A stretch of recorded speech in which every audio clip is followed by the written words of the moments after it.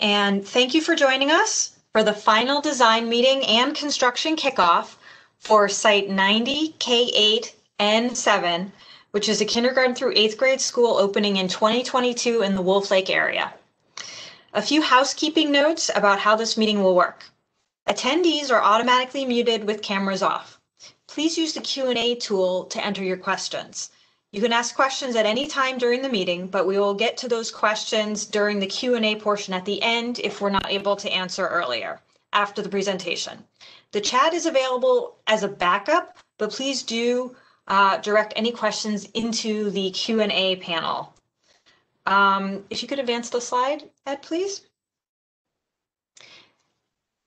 The video icons that you see are panelists who are available to answer questions today. I will be introducing them shortly. If you face any technical issues, you can reach WebEx support at 1 866 229 3239, extension 2, extension 1. Now, I've also put that into the chat. Uh, hopefully, no one will need that. Okay, one more, Ed. Thank you. This meeting is being recorded and will be posted on the OCPS Facilities Communications YouTube page as well as sent out as, as a link. The presentation slides will also be posted on the facilities website, which is facilities.ocps.net, and they'll be posted on Board Member Byrd's page at www.ocps.net. And then you click on School Board and you choose Member Byrd, and this will be there as well. Um, today, we're going to cover the final design and the construction plans for Site 90, K8, and 7, which is the K-8 school opening in 2022 in the Wolf Lake area. But before we get started, let's turn to board member Melissa Byrd for welcome remarks. Thank you, Lauren. I appreciate that. Thank you, everyone, for joining us um, tonight. I appreciate you giving up some of your time. This is uh, exciting. This is an exciting meeting. Um, it, it is my first meeting, actually. Um, uh, this is my first time going through this process of building a new school as a school board member. So I'm kind of going through this with you guys, um, just like you are. I'm learning along the way. So um, I'm really excited for tonight. I'm excited to see where we're at with the plans. Um, and I'm excited to see what um, what's coming up. We are ready to get started building this beautiful school, um, which is going to be such an asset to our community. And this was such a um, such a, a, needed project. I'm so excited that we got it moved up and that we are going to have this wonderful school to um, to uh, share with our community. Um, I'm excited that we're going to finally have a K8 uh, it's going to be fantastic. So I'm excited for tonight. I'm excited to see what's in store. I want to thank our facilities department for um, putting all of this together. I want to thank um, Zyscovich Architects for their hard work on this plan. We worked out some um, kinks, and um, I'm excited that we were able to do that. And I'm also um, very thankful for Wharton Smith, who I believe is um, with us tonight. They're the contractors, so it's going to be a great a great presentation presentation. I'm excited to see it happen. So thank you all for joining us. Okay, thank you, Board Member Byrd. So I'd like to introduce the panelists who are here to possibly answer questions tonight as we go. Um, in addition to Board Member Byrd, we have Area Superintendent Raheem Jones. Um, we do have uh, some of the principals on from the schools that'll be feeders into this school. I saw that Carol Gramando and uh, Cynthia Hop did make it on, and uh, I think we might see Frank Matucci from Zellwood also. Um, as Melissa mentioned, Zyscovich is the architect, and from Zyscovich we have Ed Napier, and we have George um, George Del Castillo. Okay, um, there is a traffic engineer on this project. Um, that's CPH, and Sandra Gorman is here representing CPH. The civil engineer is Klima Weeks, and Jay Klima is here. Um, so the group that's going to be building this project is Wharton Smith. They're the construction manager for the project. And we have David Romero and Brad Newton here. Uh, and then we have a number of members of the OCPS facilities team as well. Uh, we have Mo Arthur, who's our design manager. Um, I'm expecting to see uh, Jessma Lambert, Director of Construction Planning. Christopher Mills from Facilities Planning is here. Um, we have two project managers for this project, uh, Cody Smith and Tamara Cox. Uh, they've both been work, working on this project and they're liaison between um, the the project itself and the school district and kind of making sure that everything comes together. Um, we might see Senior Facilities Executive Director Rory Salimbene. Um, from OCPS Police, we have Commander George Alemsky. We have Adam Zubritsky from Transportation and Davania Burns from Fire Health and Safety. Um, we also did uh, invite Apopka's Traffic Division to, to join the call. Um, not seeing that they are on yet. Um, and I think we had gotten an RSVP that Commissioner Moore might be coming on as well. So I didn't want to go without mentioning um, that she might might be here to listen as well. Um, on on that note, if you could just go to the next slide, Ed. So we always put this in here because this is such a common question that we always get at these meetings. Um, so this project will be rezoned. Um, markup, I'm in the middle of a meeting, sorry. Uh, so basically what happens is that this, uh, this project will go through the rezoning project process um, for, oh, I'm sorry. So I'm sorry, I'm going to start that over.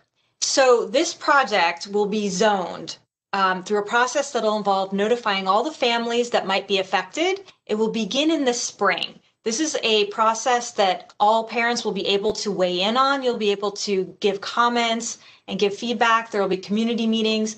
And uh, that first meeting is expected to be in spring of 2021. So we don't have anything to report for you on zoning yet. Um, but the reason we go ahead and do these meetings is because the school needs to be designed before we can build it. And we don't want to rezone uh, too far in advance of the school because then we miss people who move in the uh, immediate run up to a school opening. So on that note, I'm going to hand things over to Ed. Thank you very much. Uh, thanks, Lauren. As Lauren said, my name is Ed Napier. I'm with Zyscovich Architects. We are the design architect on this project. We are super excited, like uh, just like uh, Board Member Byrd mentioned uh, about this job, and I'm going to take you through the site and the amenities of the building and what you guys can expect uh, on this future uh, school site. So as you can see, uh, the, site location here with my pointer in the yellow is east of the uh, 429, north of the existing Wolf Lake Elementary and Middle School, in the uh, Wolf Lake area just off of Jason Dwelley. This is just another zoomed in version showing the site location uh, in correspondence to the adjacent neighborhoods. So let's talk a little bit about the site. The site is uh 14, just under 15 acres, it's 14.2 acres, existing parcel, uh, just west of Jason Dwelley and the Spin Finish, Spin Fisher Drive intersection. It's currently a um, slightly wooded site, so we're gonna come through and we're gonna make some changes to that, and we're gonna talk a little bit about that on the next slide. So this is the uh, final design site layout as uh, Lauren had mentioned that we have come through it to this point, and this is what, what the uh, project will look like. I'm going to take you through some of the site data first, uh, just so you guys can get an idea of the overall site, and I'll talk. I'll point out some of the major major points, and then access to the site that you can expect whether you're bringing your child, the child is riding the bus, or the child might be walking or riding a bicycle. So, again, uh, the site is uh, located off Jason Dwelley. There is a separate bus and parent drop-off entry for this site, so those traffic patterns do not mix. We have queuing on site, which queues along this looping area here, back and forth as you wind your way through the parking lot for 243 vehicles, which is uh, equivalent of uh, 4,860 feet, so almost a mile of queuing on site. So we don't anticipate any traffic backing up onto Jason Dwelley causing any traffic problems. We're providing parking for 148 vehicles and queuing for 13 buses. So now I'm going to talk, take you guys through uh, entering and exiting the site. So again, whether you're coming from the south or the north, you're going to be entering at this intersection to drop your child off. You'll pull in and you'll make your way through the parking lot, all the way around, sneaking all the way around and coming back to the front of the building. So the parent drop off runs along the front of the building here. This blue dot represents the main entrance to the school. That's where the students uh, will be coming in and out for parent drop, car pickup, and car drop off on a daily basis. Again, like pointed out earlier, uh, bus traffic would mostly be coming from the north. We'll have a right in, circling around, dropping off along this covered area. So the kids would be dropped off the bus under a cover, and they have a cover to walk all the way in the back main entrance of the building. And we can talk a little bit more about how that works when we pull up the plan. We have um, three retention areas on the site, one inside of the bus loop, one just to the outside of the building here, and one within the parking. All three of these are dry, which that means is there won't be regularly standing water in those unless there's just been a rain event. As far as uh, riders or walkers, uh, there's a community here to the south. There will be a sidewalk extended along the front of the property. They can come across here, walk up here. There will be a bike rack provided out front for children that are riding their bike. They can lock their bike up here and then walk into the main entrance here. Or if they're coming from Spin Fisher, there will be a sidewalk or a crosswalk provided here where students can cross the street and then continue along that same path. So the main features of the site outside of uh, actually accessing it are the exist the main building, which consists of a three-story, a two-story, and a single-story portion. And you'll get a little better uh, feel for those once we look at some of the renderings and the uh, photos of the existing prototype that this is based off of. Some of the main points of that building are we've got three-story and the two-story. The three-story base is where the admin area sits. The second and third story are our classroom space. This wing is all classroom. The back portion is classroom, uh, dining, music, and art, and we can go over those a little bit more in detail uh, once we look at the plans. There is a uh, tot lot that has a uh, a shade structure that is over the top of it, along with a youth lot. That's where the younger kids will have uh, their uh, playtime at. To the north of the side of the building, there is a covered eating area that students will be able to access. And then along, uh, once you, uh, you can leave there, walk along the sidewalk, and that will take you up to the gym. Which uh, one thing nice about the K-8s uh, in regards to uh, instead of having an elementary school is the kids do get a uh, a gymnasium. Elementary students only get a covered play area. So having the gym is a major plus, especially for the elementary students on hot days. They'll be able to actually be indoors in an air conditioned place having gym class instead of having to be outdoors. Behind the gym, we have our two uh, basketball courts. And then to the south of the gym, we have our track, play fields, and other uh, track amenities that go with that.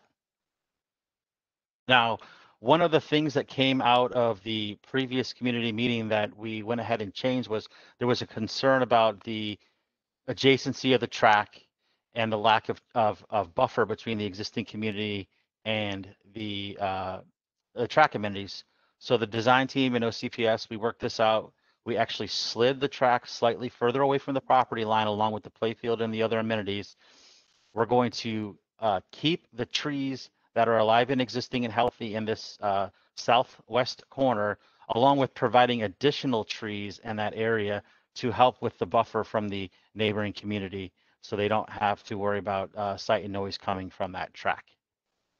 The last site amenity that I'll talk about, uh, OCPS requires all projects to show future portables, which would be located here. We do not anticipate those being needed when this school opens. But uh, as I said, uh, the, the district does require all sites to make uh, uh, space for those just in case. But again, we do not anticipate needing those on this site when it opens. So we're going to talk a little bit about the floor plans of the building. So just to reorient yourself, the blue dot here is the main entrance to the building. We talked about on the previous slide, the children will enter here. Admin and the media center is located to the right. The first and second grade classrooms are located to the left. As you walk along this spine, this long hallway of the building, the kids coming from the bus loop would enter back here off the bu- bus loop covered walk and come in the building. Walking past here, you have dining, with the kitchen. And then we have music and art amenities. And then this back wing would be your uh, pre-K and kindergarten classrooms, along with the, the gym having the first floor here. So the second floor of the building is all classroom space. And this is dedicated to our third through fifth graders. There's four stair towers for them to use. Typically, this back stair tower is dedicated for the middle school students, and you'll see that that goes all the way to the third floor, and that allows us to keep those students separated from the younger students so they don't intermingle. And as stated, the third floor is uh, middle school classrooms, and those include three science classrooms, which you'll see a picture of later. You can get an idea of uh, what those look like. So OCPS has a commitment to sustainability and being a good steward for the environment. So all of our projects are designed to the Green Globe standard. Some of the site features and building features here are listed.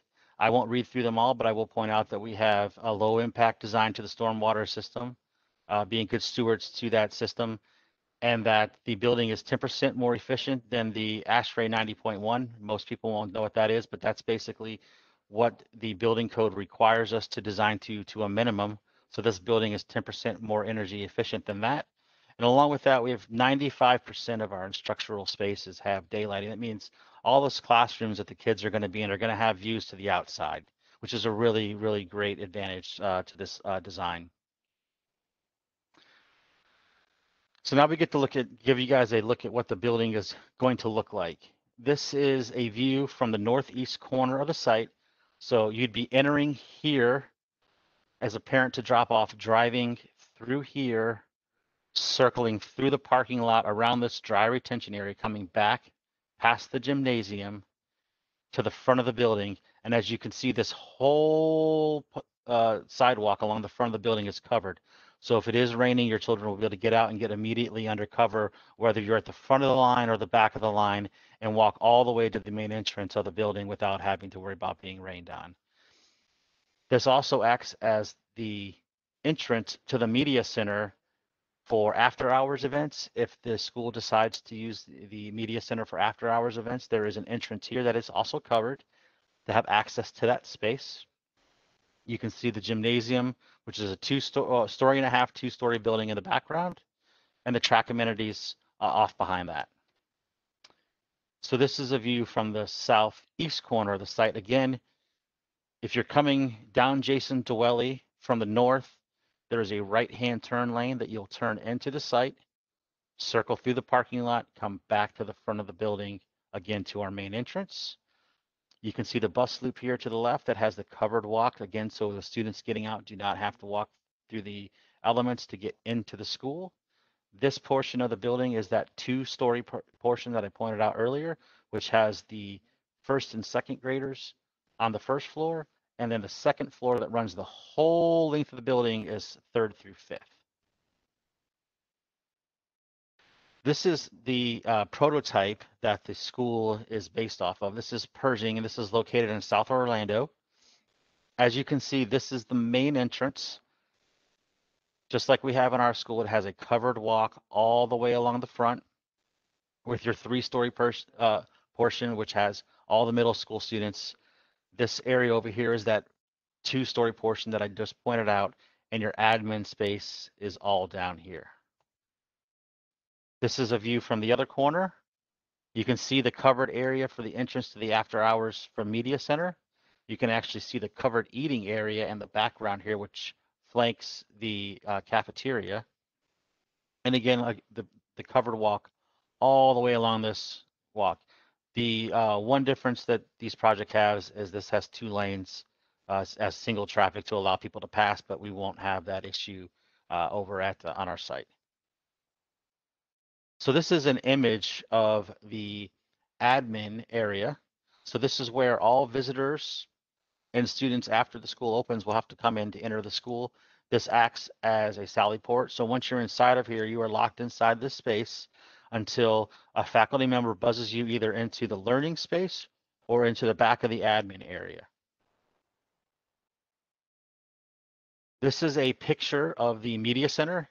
Now it does say uh, middle school on the back wall here, but this is the, uh, this is actually, uh, a media center for the K through eighth graders. So there are areas for elementary and for the older kids. So you have different seated heighting, you have soft seating. We have a genius bar over here on the side here that the older students can sit, set up laptops, uh, do presentations and such like that. This would be a typical classroom. One thing you'll notice uh, is there's two different types of flooring. There's carpet and tile. This actually came from a recommendations from some of the staff. These schools used to be done all in carpet, but uh, now we do wet areas and areas leading into like the restroom in tile to allow for, you know, if there's spills, they can be easily cleaned up when we're not damaging carpet tiles. There's a sink here, bathroom. On the lower level, lower grades, there's cubbies for the kids' backpacks and coats and uh, materials. Again, the flooring are carpet squares, so it's hard to tell in the picture, but if one of these squares gets damaged or stained, you can actually just pull a little tiny section out and replace that section. You don't have to replace all the carpet. This is what we refer to, this blue wall is a learning wall that has the smartboard on it where the teacher can do uh, digital instruction on. So this is the uh, science classroom that I spoke about earlier. And in this photo, it's actually set up for instructional use. You see the tables are sort of clustered in seatings of four. So this is how the setting would be when the teacher was giving instruction. And what happens is when they go to do experiments, these tables are movable and they slide up against the casework. This casework that you see in the background actually runs around all three sides of the room. And there's a sink here these tables push up to that, and then that becomes their experiment area. So when they're in experiment mode, the tables are up against the casework. When they're in, in instructional mode, they're out in the center of the space. Again, we have a teaching wall that has a smartboard on it. And then in this classroom, you can also see that there's an adjustable uh, science table for, for accessible users. So this is what we like to call a, a collaboratorium. What a collaboratorium is, is a space that allows uh, teachers from all these classrooms that are surrounding here that you really can't see to come out here for the, the students to interact and work on projects together. Uh, again, these are in every wing of all the classroom of all the classroom wings. I believe we have seven of them. They all have a smartboard, whiteboard. They're all digitally. They have operable furniture so students and faculty can move these pieces around and uh, you know, organize them in a way that suits whatever's going on, whether it's small group learning, a little larger group learning, if it's multiple different projects going on from different classes. This just allows students a space that they can actually collaborate and work on projects together that they might not normally be able to do when they're in their individual classrooms. Here's a picture of our typical music room. This would be the uh, middle school music, uh, carpet floors, acoustical ceilings with uh, acoustical panels and special acoustical tiles to help with the sound. There's uh, storage provided for instruments. And again, these spaces also have a teaching wall with a smartboard to allow for digital instruction. The K8 has what we call a, a cafetorium. So that's a cafeteria that also acts as the auditorium. As you can see in this picture, there are some stage lights just up here to the left. So just to the left of this image is the actual stage that is inside of the cafeteria.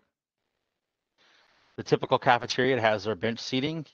The uh, board controls and sound control, stage controls are housed in a little room back here in the back to allow for controls for anything that might be happening on the stage. The four doors you see down here on the end is your entrance to the kitchen and exit to the kitchens, along with we have storage and uh, bathrooms that flank the uh, cafeteria. At the end, you see we have large, large openings for uh, natural daylighting to come through. There's another nice feature of these uh, cafeterias is you get a lot of nice daylighting coming in here. Along with just outside of these windows is that covered eating area that I pointed out earlier. And this is the actual gym from the prototype that you guys, this project is based off of. This is the Pershing School gym. As you can see, it's a full-size gym. It has a main court along with uh, two flanking practice courts, a main volleyball with two practice volleyball. The gym itself is 9,500 square feet, and it has 638 capacity seating along this side on just one single side. Uh, the locker rooms and support space is off this side of the building. And then the main entrance would be just to the right of this image where you would come in from the front. This is the example of the shade structure over the tot lot. So this is again from the prototype that this project is based on. Uh, you can see that the play area has a rubberized surface to uh, make it a little more forgiving when our little ones fall. And again, it has the shade structure provided to provide shade on those really hot, you know, summer days. Now I'm going to take you guys a little bit through the uh, project schedule before I turn it over to the to the guys that are going to build this for you. Our uh, design documents were complete in September. We just recently received uh, our permit approval from the building department to actually build the project here this month. The construction is slated to start middle of January 2021, so next month. It will last to the end of May 2022, and the school will open in August 2022. And with that, I'm going to turn it over to David Romero, who's going to take you guys through the construction uh, portion of this job. All right, thank you, Ed. Uh, just want to first echo how excited we are to be a part of this project. Wharton Smith is very excited to bring this beautiful school campus to this community.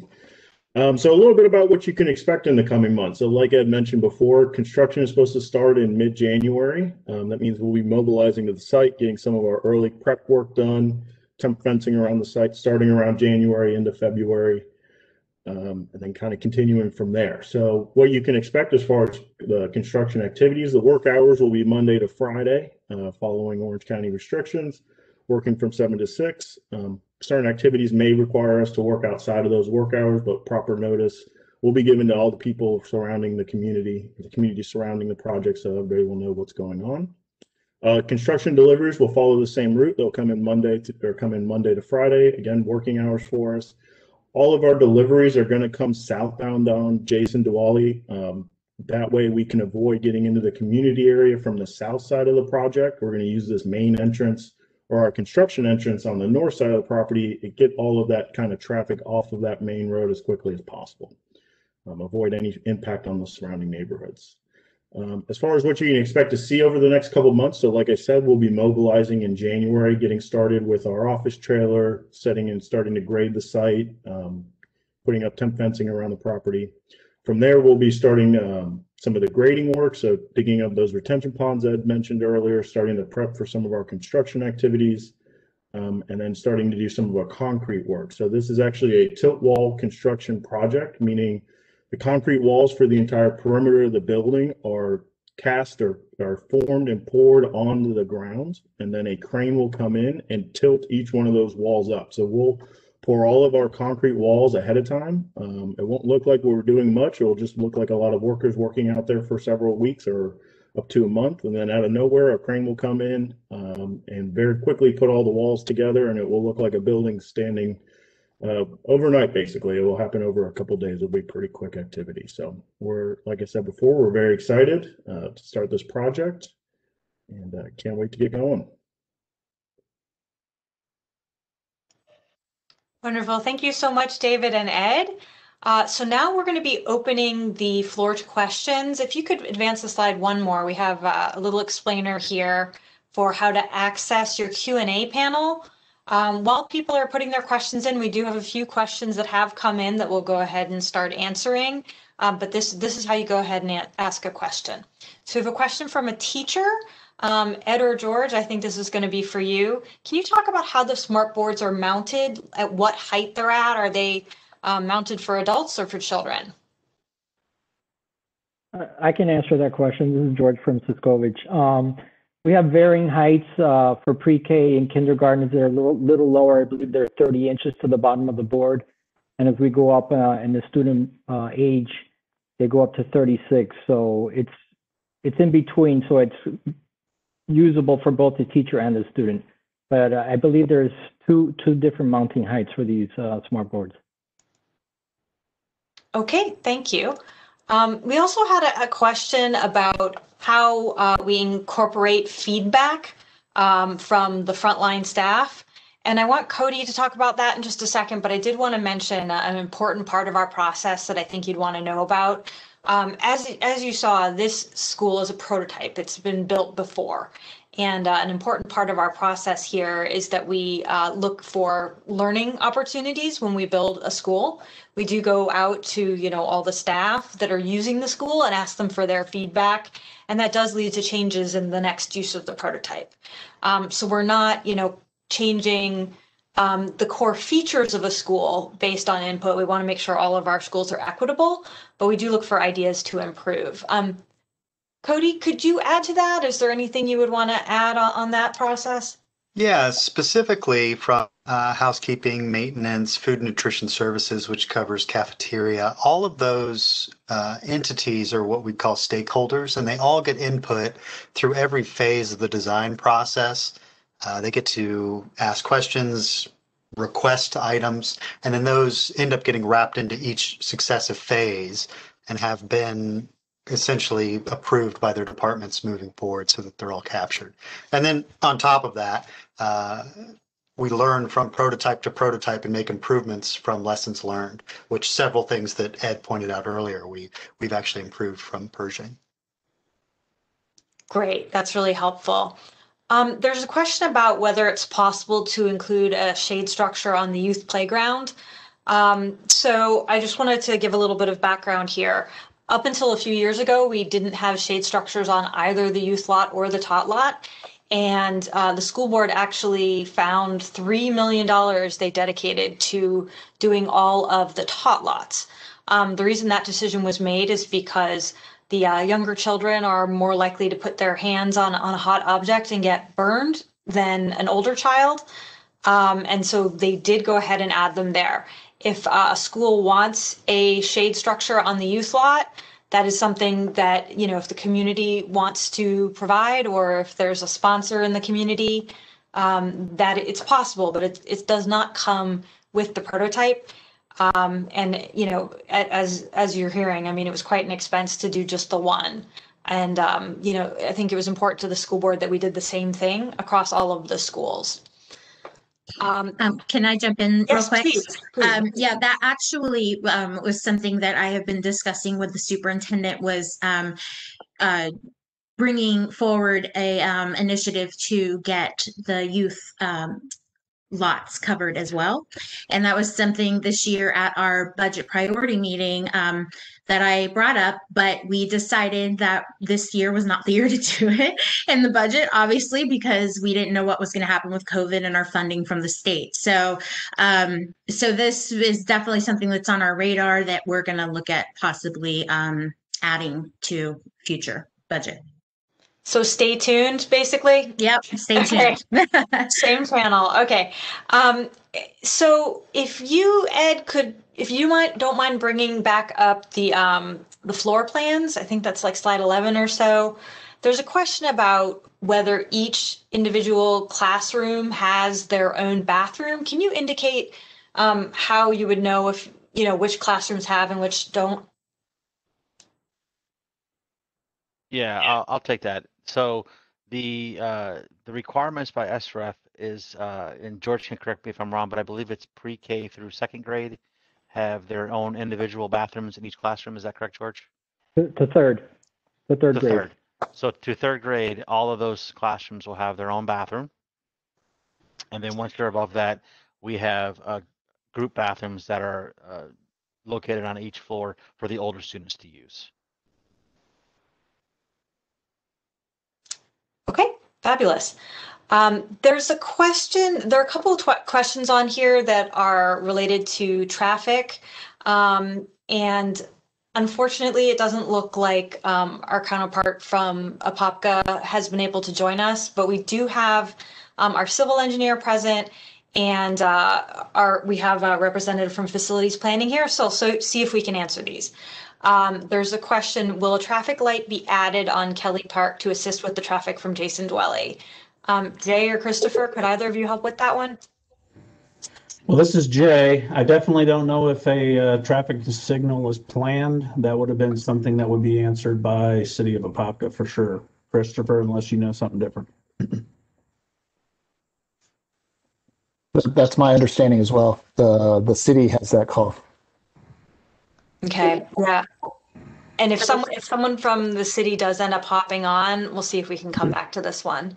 Lauren, I had a, uh, I had an email from Pam that said she was trying to get on, but was not able to log on to this meeting, so I'm not sure what, what happened there. Oh, well, that's unfortunate. Okay. Um, there, w- there's another question. Uh, will Jason Dwelley be widened to accommodate the additional traffic? The picture showed four lanes, two lanes on each side. And Jay actually answered this one, but I think everyone would enjoy the answer. I'll be happy to explain that. So basically what is happening is we are widening the pavement. The way that it's being widened is to expand the pavement into the existing medians. So the curb lines on both the east and the west side of the road are not changing, just the uh, median is getting more narrow. And what'll end up happening is we'll have a left turn lane into the school site as well as a right turn lane that goes into the school site. The, uh, the left turn lane for Spit Fisher is getting shifted further over to the, uh, east in order to accommodate the, uh, the right turn lane for the school. So the net result will be there'll be left turn lanes and right, and a right turn lane going into the school. And there'll be one through lane each going northbound and southbound. Okay, I think that answers someone else that asked a similar question about road expansion and turn lanes, but I think you've covered that. Um, so there's a question that I think um, might be for our traffic consultant. So Sandra, maybe you can help us with this one. Um, or maybe it's not you. The question is, uh, as a K-8 school, is there enough parking for teachers and families? Um, and so if, if there's someone who could explain how we come up with the, numbers for the parking lot? Sandra, would that be you? Okay. Go ahead, whoever was starting. Oh, Sandra, we can't hear you.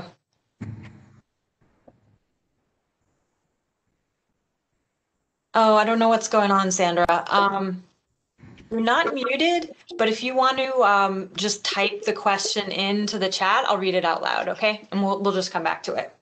Because Sandra was talking and we couldn't hear her. Um, so there's a question about the zoning and the way the zoning works is it, it happens further down the process. There will be public meetings starting in the spring of 2021 to set the zone for this school. Um, it's not done at the same time as this process because in order to get a, a, a new school designed and built in time, it's a multi-year process. The zoning happens a little bit closer to when the school opens so that the latest information on where students live is, is incorporated. So if you live in an area that would be affected by the zoning, um, watch out for uh, an email announcement in the spring of 2021. Okay, let me look and see if we got any more. Looks like, oh, here's one. Will there be different start times for elementary and middle? Um, Raheem, do we know that yet? Um, Raheem, you're muted. There we go. Yeah, so I was looking on our, the K-8s that we have currently for our 2021 school times start at the same exact times as the elementary. So it's 8:45 to 3, Monday, Tuesday, Thursday, and Friday, and 8:45 to 2 on Wednesdays. Awesome. Thank you so much. Um, and, and Sandra, our traffic consultant, replied to the question about the parking lot. And she said the parking is based on OCPS requirements, which are greater than the parking standards required for a K-8 school from the Institute of Transportation Engineers Parking Generation Manual. Interesting. Okay. And so, um, what schools typically do, we don't want to overload a school site with, um, with parking so much so that we take all the fields. Um, because as you can see, you can see how much space the uh, parking takes up. So rather than have um, a school have a huge parking lot every day, what we like to try to do is uh, when there's a special event, um, park people along the, the drop off and, and pick up lane. That can be a way to pick up some parking. Okay, I think there's another question in the chat. Lauren also speaking to that, will typically Please. park in the bus loop on those event days also. That's a good, great point. Thank you. Okay, um, I'm not seeing any other questions right now. Certainly feel free to uh, continue putting questions in if you have them. Um, Melissa, are there any remarks you'd like to make or things you'd like to draw attention to? Um, no, I, well, I just want to once again thank, um, uh, thanks, thank facilities in Zyscovich for working out our, um, issues with the trees in that southwest corner. I know that was a concern for those homes there, um, and making sure we had more buffering. And we really, um, we really came together and, um, you know, had a meeting and kind of problem solved that and decided moving the track a little bit would be able to save more of those trees. So I'm thrilled about that. Um, and then, you know, I, I'm loving, I love the design. I love that we're doing, that it's a very uh, green school. And that's something that I've actually been talking to um, the environmental department about, um, about the possibility of, you know, really expanding that with the school and maybe even um, looking at some uh, curriculum things, you know, um, uh, some environmental studies and things like that happening at the school. So uh, we're I'm thrilled. I think that um, I think the design is great. I'm excited. I think um, this is going to be such a great uh, such a great opportunity for our community. Okay, and we do have several questions that have come in in the last few minutes. Um, there was a, a question, um, let's see. Are they going to stay with the option for the kids in fifth and eighth to stay with their current school even if they are rezoned? Okay, I think this question is about grandfather transfers. Melissa, um, I, I'm going to try to explain it, but please back me up because you probably know more than I do about this. It typically, if your child is in the last grade of the grade of the grade level of a school, they would be able to grandfather, right? But since this is a K eight, does that apply to fifth too? I'm not sure about that. Maybe Raheem might know. I believe that's the gray area. So I would rather have uh, Carol McGowan Sure. speak to that on that one because I think it may be a difference. So Okay, um, I will, um, see if we can get an answer back to you. Um, if you could send me a, a private message, a private chat with your email address, I'm gonna pass it along to Carol McGowan, um, Narissa, who asked that question. So please send me your email address and I'm gonna connect you with Carol McGowan from, um, student enrollment. She's the director of that department. Um, okay, a couple more questions. If all of the kids start at the same time, will the busing have K through eight on the same bus? Adam, can you help us with this one?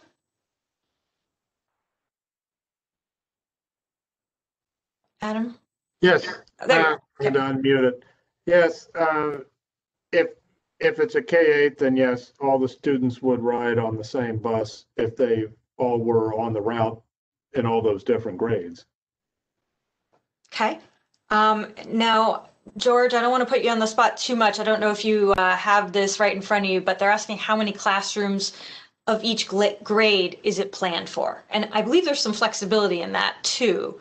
Um, but Yeah, I have- yeah, I have the answers. Um, great. I- My, my headphones just cut out. I don't know if you can hear me well. Can you hear me? Yes. Yeah, okay, so we have one uh, pre, pre-K, we have eight kindergarten, uh, kindergarten classes. Set, uh, first through, s- first, second, and third, we have seven classrooms of each. Those are the primary, and then fourth and fifth, we have six of each. And then the middle school, sixth, seventh, and eighth, we have three of each of those. Then we have two skills lab, one's a computer skills lab, one's um, an elementary uh, science lab.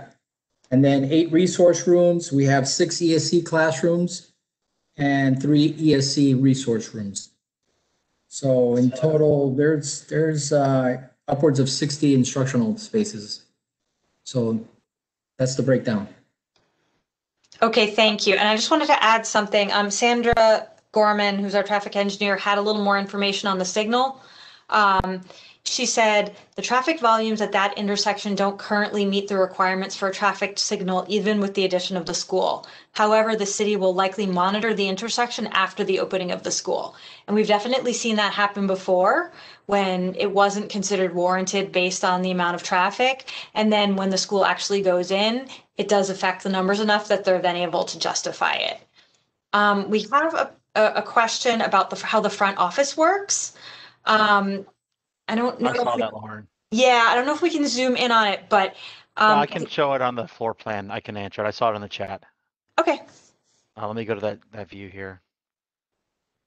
Yeah, maybe even the rendering, or this So- could work too. Yeah. So there's actually two separate entrances at the front of the building.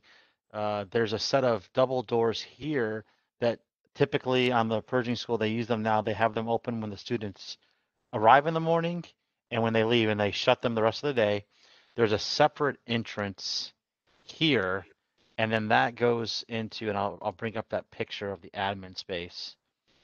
That entrance is kind of behind where these yellow lines are on the floor. So the door is sort of here. And that's your main entrance into the building throughout the rest of the day. You do not enter into this hallway. The hallway that you see on the plan is actually off here to the left. You enter into a secure space where all uh, both doors into the building are locked, and you have to be allowed in by the staff after you've checked in, and they make sure that you're supposed to be there. They'll buzz this door if you're supposed to go into the learning space, and there's another door off to the right if you're there to meet with staff members that they buzz open, and you enter into the back of the house or the admin area that way. Okay, great, thank you. Raheem, this next one I was hoping you could help me out with. Um, somebody wanted to know how magnets work. They were asking if this school would have a magnet, but could you just tell us about how a school gets or a magnet, how that works? Yeah, so what happens is that a school can apply for a magnet program through our um, school choice department. What initially happens is that the application is completed, and then when for the first year, what it's called, I believe, is called an academy for the year, and schools are there. And then the following year, when it's officially announced that it's the magnet, that's when people can apply. So initially, it won't be um, there won't be any magnet programs, but there could be the potential, depending upon the principal, depending upon looking at other magnet programs in our district, if there's a need for something in the north area that other learning communities may not have that we may see as something unique that we want, um, that could be a potential possibility, but not for the 22, 23 school year. Great, thank you. And, and there's also a a capacity issue, right? Like if the school's pretty full, we don't tend to do magnets, right? Correct, yeah. So it also depends upon the student enrollment, student enrollment at the time as well. Great, thank you. So yes, so no magnet school to open, but it's really the same process that any school would use, you know, any existing school. So if that school d- decides that they are interested in that. Um, and there's a question about capacity. It's around twelve hundred, right? Do we have, does someone have an exact number? Yeah, it's uh, thirteen forty-six. Thirteen forty-six. Do you happen to have how that's divided between elementary and middle?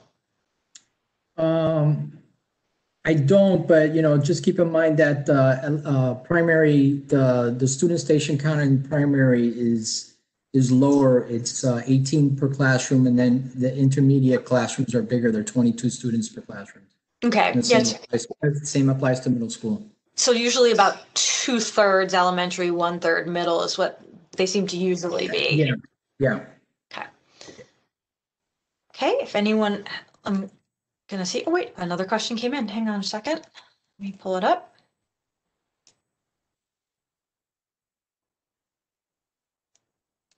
Okay, there's a question about, was it six? I, I, um, George, how many fifth grade classes and how many sixth grade classes? Yeah, so, yeah, I saw that question. So, yeah, they're concerned that there's, there's, in, in the middle school portion, sixth, seventh, and eighth, we have three, each, uh, three classrooms of each. So in total, we have nine middle school classrooms. But and then the, the fourth and fifth graders, there's six.